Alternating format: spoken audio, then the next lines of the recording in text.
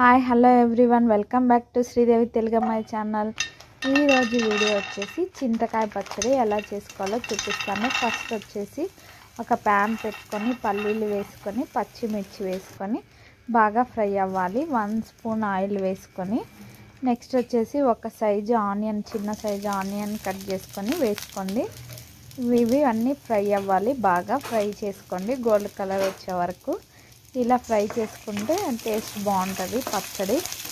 మీరు వచ్చేసి పచ్చడి ఎలా చేస్తారో నాకు కామెంట్ చేయండి. ఇలానే చేస్తారా డిఫరెంట్గా? చింతకాయ పచ్చడి వచ్చేసి చాలా టేస్టీగా ఉంటుంది. ఇది వచ్చేసి వన్ మంత్ ఇలానే ఉంటుంది.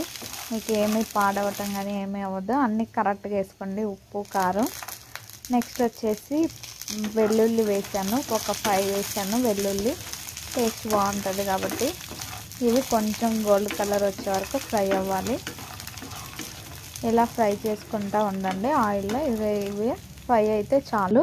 నెక్స్ట్ వచ్చేసి ఇదిగో చింతకాయలు. ఇలాంటి చింతకాయలు తీసుకొని రోట్లో దంచుకొని ఉప్పు వేసుకున్న ఇది పచ్చడి.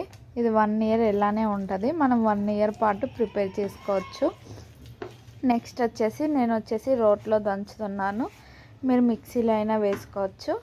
రోల్ వచ్చేసి క్లీన్గా శుభ్రం చేసుకున్నాక మనం ముందుగా ఏమిచ్చుకున్న పల్లీలు ఆనియన్ పచ్చిమిర్చి ఇవి వేసుకొని బాగా మెత్తగా దంచుకోవాలి.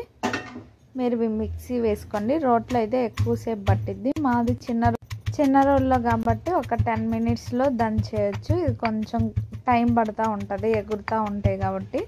ఇలా మెత్తగా పేస్ట్ లాగా వేడి చేసుకోండి. ఇలా పేస్ట్ అయిన తర్వాత మనం ముందుగా ఉన్న చింతకాయ పచ్చడి ముడి చింతకాయ పచ్చడిని వేసుకుని మళ్ళీ దంచుకోవాలి. కొంచెం వాటర్ వేసుకొని ఇదిగో చింతకాయ పచ్చడి. ఇత్తనాలు అలాంటివి ఏమీ లేకుండా తీసేసి దంచుకోండి. సాల్ట్ వేయట్లేదు. నేను ఆల్రెడీ పచ్చళ్ళలో దంచేటప్పుడు సాల్ట్ వేసారు ముడి చింతకాయ పచ్చళ్ళు. మీరు చూసి టేస్ట్ చూసి వేసుకోండి. సాల్ట్ కరెక్ట్గా సరిపోయింది నాకు. అందుకే నేను సాల్ట్ ఏమీ వేయట్లే. ఇలా వాటర్ కొంచెమే వేసుకొని దంచుకోండి. బాగా రోట్లో దంచింది ఏంటంటే కొంచెం పచ్చ పచ్చగా అట్లా ఉంటుంది. మిక్సీలో వేస్తే స్మూత్గా జార్ జార్గా వచ్చేస్తుంది. ఎందుకంటే మిక్సీ తిరగదు కాబట్టి కొంచెం ఎక్కువ వాటర్ పట్టిద్ది. ఇలా దంచుకుంటే సరిపోయిద్ది పచ్చడిని ఇంకా మనం ఇప్పుడు వచ్చేసి పోపు ప్రిపేర్ చేద్దాం. తిరుగుమాత అంటారు. మా స్టైల్లో వచ్చేసి ఫస్ట్ వచ్చేసి ఒక బాండీ పెట్టుకొని ఆయిల్ వేసుకొని పచ్చనగపప్పు ఎండుమిర్చి వేసుకొని బాగా ఫ్రై చేసుకొని ఆవాలు వేసుకోండి. ఒక సైజు ఆనియన్ కట్ చేసుకొని ఇవి ఫ్రై అయ్యాక ఆనియన్ పీసెస్ కూడా వేసేసుకొని బాగా ఫ్రై చేయాలి. ఇవి ఇలా ఫ్రై చేసినాక చిటికెడ పసుపు వేయండి. పసుపు వేసి మళ్ళీ ఫ్రై చేసుకోండి. కొంచెం ఆనియన్స్ ఎక్కువ వేగితే పచ్చడి కూడా ఎక్కువ రోజులు ఉంటుంది. పచ్చి పచ్చిగా ఉంటే త్వరగా వాసన వచ్చేస్తుంది.